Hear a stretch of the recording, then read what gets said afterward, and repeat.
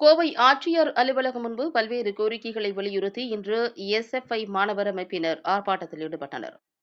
கோவை மாவட்ட ஆட்சியர் அலுவலகம் அருகில் உள்ள பிஎஸ்என்எல் அலுவலகம் முன்பு இருபதுக்கும் மேற்பட்ட எஸ்எஃப்ஐ அமைப்பினர் பல்வேறு கோரிக்கைகளை வலியுறுத்தி ஆர்ப்பாட்டத்தில் ஈடுபட்டனர். தனியார் பள்ளி கல்லூரி நிறுவனங்களின் கட்டண கொள்ளையை தடுத்து நிறுத்த அரசு நடவடிக்கை மேற்கொள்ள வேண்டும். அரசு பள்ளி கல்லூரிகளில் சுகாதார வசதியை மேம்படுத்தி மாணவர்களுக்கான பாதுகாப்பை உறுதிப்படுத்த வேண்டும். பள்ளி கல்லூரி மாணவர்களுக்கு தினந்தோறும் மாஸ்க் கிருமி நாசினி நோய் எதிர்ப்பு சக்தி உணவுகளை வழங்கிட வேண்டும். கல்வி நிலையங்களை முழுமையாக பாதுகாப்பான வசதிகளோடு திறக்க வேண்டும். ஆசிரியர்கள் தடுப்பூசி செலுத்தியதை உறுதிப்படுத்த வேண்டும். முழுமையான பாதுகாப்பு வசதியுடன் விடுதிகள் திறப்பை உறுதிப்படுத்த வேண்டும். கல்வி நிலையங்களில் ஆர்எஸ்எஸ் பிஜேபியைச் சேர்ந்த நபர்களை நியமிப்பதை தடுக்க வேண்டும். அகஸ்தியா பன்னாட்டு தொண்டு நிறுவனத்திற்கு பள்ளிக்கல்வித்துறை கல்வி கற்பிக்க கொடுத்திருக்கும் அனுமதியை ரத்து செய்ய வேண்டும். உள்ளிட்ட கோரிக்கைகளை வலியுறுத்தி முழக்கங்களை எழுப்பினர். நிருபன் சக்கரவர்த்தி இந்திய மாணவ சங்கம் மத்திய குழு உறுப்பினர்.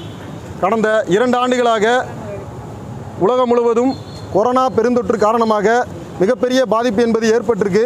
இதில் இந்திய மக்களும் தமிழக மக்களும் மிகப்பெரிய பாதிப்புகளை சந்தித்து இருக்காங்க குறிப்பாக மாணவர்கள் மிகப்பெரிய அளவில் இந்த காலகட்டங்களில் தங்களுடைய கல்வியில் மிகப்பெரிய பாதிப்பு என்பது ஏற்பட்டிருக்கு.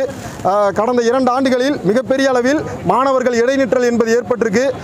நிறைய பெண் குழந்தைகளுக்கு குழந்தை திருமணம் என்பது நடைபெற்றிருக்கு. இது போன்ற பல்வேறு பிரச்சனைகளை கடந்த அதிமுக அரசாங்கத்தில் பலமுறை மாணவர்கள் தரப்பில் எடுத்து கூறப்பட்டிருக்கிறது. தற்போது பொறுப்பேற்றிருக்கக்கூடிய தமிழகத்தினுடைய முதல்வராக இருக்கக்கூடிய திரு ஸ்டாலின் அவர்கள் பல்வேறு நல திட்டங்களையும் பல்வேறு பாசிட்டிவான ஒர்க்குகளையும் செய்துட்டு வராங்க.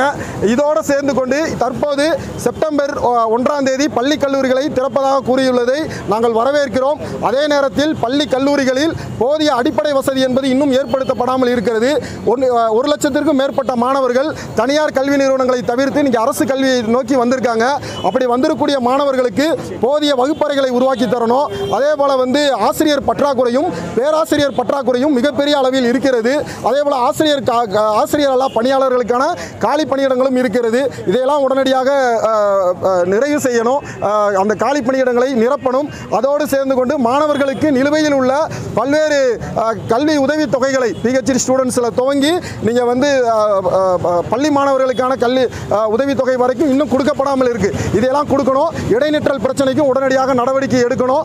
அதே போல வந்து தமிழகம் முழுவதும் இருக்கக்கூடிய அனைத்து மாணவர்களுக்கும் ஆசிரியர்களுக்கும் பேராசிரியர்களுக்கும் இந்த தடுப்பூசி செலுத்துவதற்கான நடவடிக்கைகளும் துரிதப்படுத்தி எடுக்க வேண்டும் என்று சொல்லி இன்னைக்கு தமிழகம் முழுவதும் இந்திய மாணவ சங்கத்தின் சார்பில் ஒரு மிகப்பெரிய அளவிலான போராட்டம் என்பது நடைபெற்று வருகிறது.